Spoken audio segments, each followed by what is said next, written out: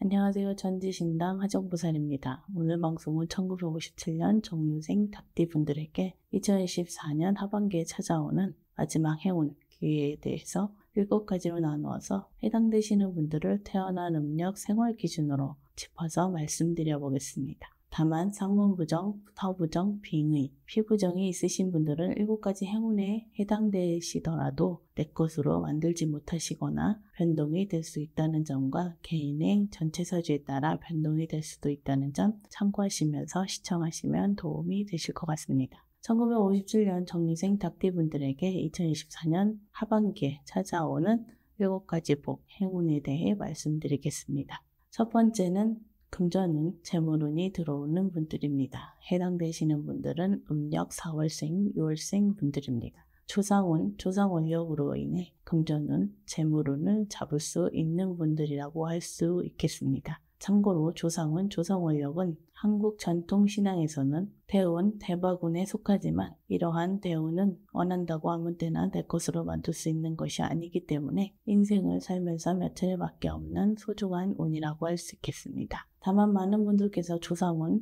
조상원력을 잘못 이해하고 계신 분들이 있어서 안타까울 때가 많은 것도 사실입니다. 아무쪼록 2024년 하반기에는 조상원, 조상원력이 들어오는 시기이기 때문에 반드시 내 것으로 만드셔서 성부를 보시기 바라겠습니다. 두 번째는 첫 번째와는 다른 의미의 재물운, 금전운이 들어오는 분들입니다. 해당되시는 분들은 음력 7월생, 8월생, 11월생 분들입니다. 터운, 도다운으로 인해 금전운, 재물운이 들어오는 분들이라고 생각하시면 되실 것 같습니다.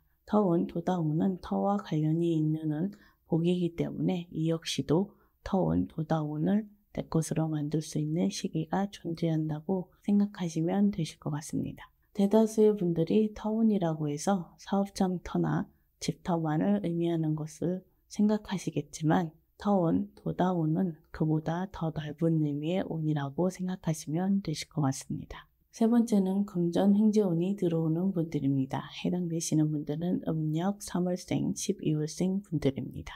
금전 행제운은 생각지도 못한 일로 금전 행지가 생기는 것이기 때문에 투자 관련, 부동산 관련도 폭넓게 해당이 될 수 있다고 보시면 되실 것 같습니다. 사실 흥지운은 앞장소멸, 공덕 쌓기 등과 같은 밀접한 연관이 있지만 많은 분들께서 모르고 계실 수 있기 때문에 2024년 하반기에 들어오는 금전 흥재운은 내 것으로 만들기 위해서라도 2024년 한 해만큼은 방생 등을 통해서 손쉽게 앞장소멸, 공덕을 쌓아보시는 것도 도움이 되실 것 같습니다.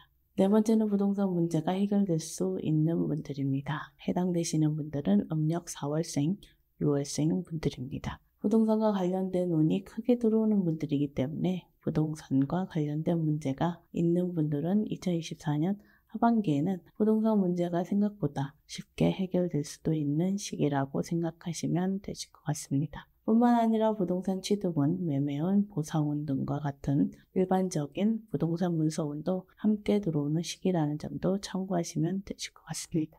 다섯 번째는 관제 문제가 해결될 수 있는 분들입니다. 해당되시는 분들은 음력 1월생, 4월생, 10월생 분들입니다. 문서운, 관운 등이 상승하는 시기이지만 조성 원력, 조성의 도움으로 관제 문제가 해결될 수 있는 분들이라고 보시면 되실 것 같습니다. 다만 지금 말씀드린 분들 중 최근 3년 이내 집안에 상문이 있었던 분들이나 본인 또는 가족분들 중 피부정이 있었던 분들은 역으로 관제 문제가 더 꼬이거나 해결이 어려울 수도 있기 때문에 이 점도 참고하시길 바라겠습니다. 여섯 번째는 귀인은 인간 화합의 운이 들어오는 분들입니다. 해당되시는 분들은 음력 3월생, 8월생, 12월생 분들입니다. 그동안 가족, 연인, 직장 동료, 거래처, 지인 등 대인관계에 있어서 그동안 오해나 갈등이 있었던 분들은 2024년 하반기에는 자연스럽게 오해가 갈등이 해소되는 시기라고 보시면 되실 것 같습니다. 뿐만 아니라 사업 문제, 관제 문제, 금전 문제 등과 같이 개인적으로 해결하기 힘든 문제들을 귀인을 통해서 또는 귀인의 직접적인 도움으로 해결할 수 있는 시기라고 보시면 되실 것 같습니다.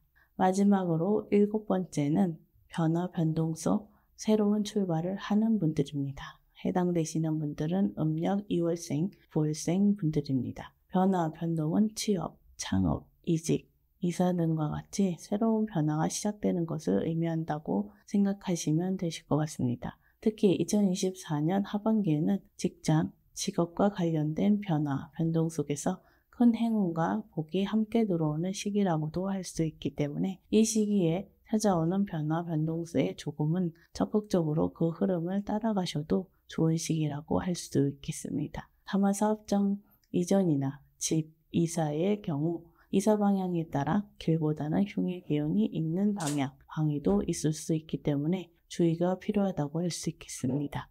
1957년 정유생 닭띠분들께서 2024년 하반기에 잡을 수 있는 7가지 복, 행운에 대해 말씀드렸습니다. 마지막으로 당부드리고 싶은 말씀은 이러한 복과 운이 있다고 해서 아무런 노력 없이 내 것으로 만들 수 있다고는 할 수 없기 때문에 개인의 노력과 더불어 신의 원력, 신의 도움을 받아보시는 것에 대해 고민을 해보시기 바라겠습니다.